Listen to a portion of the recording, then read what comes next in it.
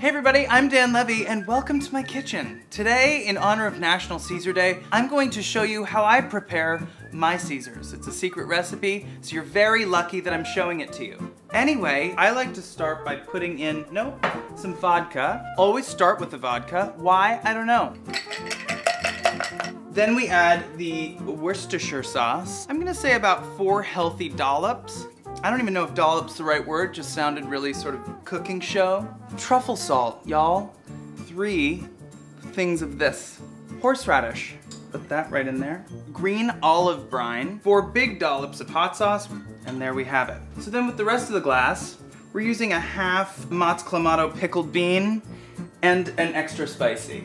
Mix it up gently because Caesars deserve respect. Okay, so now we have our base. Take two pieces of Dan's classic maple bacon, use it like a little plate, like a meat plate.